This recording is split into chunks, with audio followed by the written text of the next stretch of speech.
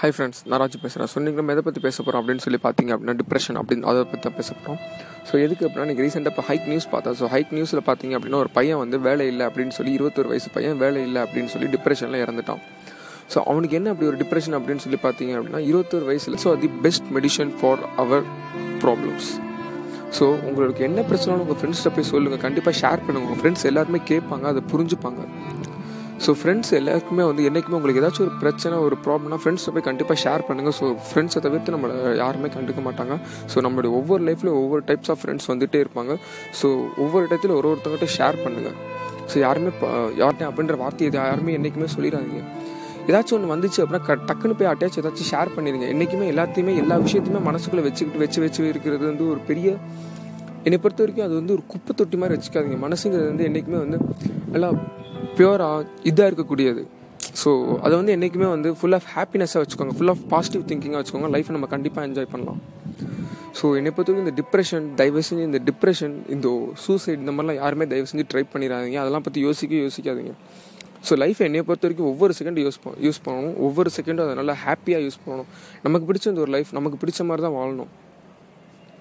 So இதை வந்துட்டு நமக்கு வேலை கிடைக்கல அப்படின்னா ஸோ அவன் என்ன பண்ணுவானோ இவன் என்ன பண்ணுவானோ எய்த்து வீட்டுக்காரன் கேட்பான் என்ன தம்பி நீ வேலைக்கு போகலையா? பக்கத்து வீட்டுக்காரன் மாமா கேட்பாரு என்ன தம்பி நீ வேலைக்கு போகலையா? அப்படின்லாம் சொல்லிட்டு எவனுக்காகவும் ஃபீல் பண்ணாதீங்க. எவனும் கடைசி வரைக்கும் உங்கள் கூட இருக்க போகிறதுல நீங்கள் சம்பாதிச்சு அவனுக்கு ஒரு பைசா கூட கொடுக்க போகிறதில்ல நீங்கள் வேலைக்கு போனால் அவன் உங்களுக்கு ஒரு பைசா கூட கொடுக்க போகிறது கிடையாது. ஸோ என்னைக்கு இந்த சம்பாதிக்கிறது எல்லாமே நம்மளை நம்மளை பார்த்துக்கிறதுக்கு தான். ஸோ உங்களுக்கு தெரியும் நீங்கள் எப்போ வேலைக்கு போகணும் நீங்கள் எப்போ வேலைக்கு போகக்கூடாது உங்களுக்கு என்ன வேலை பிடிக்கும் உங்களுக்கு என்ன வேலை தகுதியானதுன்றது உங்களுக்கு தெரியும். ஸோ அடுத்தவன் கேட்பானா இந்த வேலைக்கு போனால் அவன் அப்படி பார்ப்பானா இவன் இப்படி கேட்பானா நம்ம சொந்தக்காரங்க இந்த வேலைக்கு போனால் நம்மளை மதிக்க மாட்டாங்களே எதுவுமே கிடையாது. உங்களுக்கு நீங்கள் தான். ஸோ வேலைங்கிறது என்றைக்குமே நமக்கு நமக்கு தாங்க பிடிச்சது. ஸோ நமக்கு பிடிச்ச மாதிரி நமக்கு வாழ வரணுங்கிறது தான். ஸோ ப்ளீஸ் ஃப்ரெண்ட்ஸ் ஸோ கேட்குறதுக்கே ரொம்ப இதாக இருக்குது ஸோ இந்த டிப்ரெஷன் இந்த சூசைடு இதெல்லாம் பற்றி எதுவுமே யோசிக்காதீங்க. ஸோ எனக்கு என்ன தெரியல இந்த நியூஸை கேட்டதுலேருந்து ஒரு ஒரு மாதிரி கெட்டி ஃபீலிங்காகவே இருந்துச்சு. ஸோ அதான் உங்கள்கிட்ட ஷேர் பண்ண நினச்சேன். ஸோ சொல்லிட்டேன்.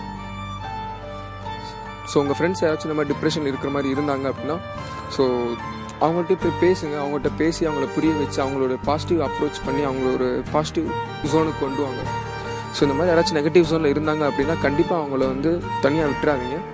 ஸோ உங்களுக்கு அந்த மாதிரி தோணுச்சு அப்படின்னா நீங்களே செல்ஃப் மோட்டிவேஷனோட ஸோ செல்ஃப் மோட்டிவேஷனை தவிர்த்து ஸோ நம்மளால் யாருமே வந்து அந்தளவுக்கு நல்லா மோட்டிவேஷனே பண்ண முடியாது. ஸோ அப்துல் கலாம் கூட அவரோட பைலட் ஆகணும் அப்படிங்கிறது தான் அவருடைய முதல் ஆசை.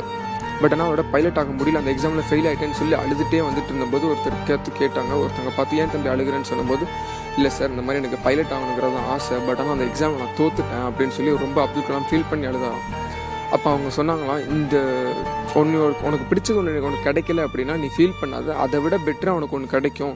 இந்த உலகம் அதை விட உனக்கு ஒரு சூப்பர் சுச்சுவேஷனை வச்சிருக்கு. ஸோ அதை நீ ஃபேஸ் பண்ண தைரியமாக இரு ரெடியாக இரு அப்படின்னு சொல்லி சொன்னாங்களாம். ஸோ அப்படி அன்னைக்கு அப்துல் கலாமும் நினச்சி டிப்ரெஷனில் ஒரு சூசைட் பண்ணியிருந்தார் அப்படின்னா அன்றைக்கி நமக்கு ஒரு அப்துல் கலாம் கிடச்சிருக்க மாட்டாங்க. ஸோ என்றைக்குமே நமக்கு எனக்கு கிடைக்கல இது வரல வேணாம் போகாது அப்படின்ற நெகட்டிவ் தட்டு தாட்டே வச்சுக்காதீங்க. எனக்கு வரும் நான் நல்லா பண்ணுவேன் என்னால் முடியும் ஐ கேன் அப்படின்ற ஒரு பாசிட்டிவ் தாட்டோட என்றைக்குமே இருங்க. என்றைக்குமே வந்து ஒரு எல்லாத்தையுமே வந்து ஒரு பாசிட்டிவ் வே ஆஃப் திங்கிங்லேயே பாருங்கள்